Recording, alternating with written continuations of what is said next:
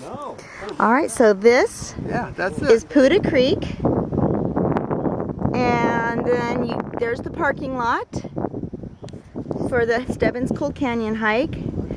And then this is Stebbins Cold Canyon.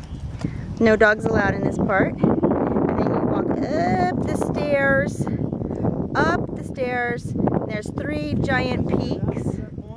Right there in front of us is the biggest peak, and that's where a great place is to have lunch.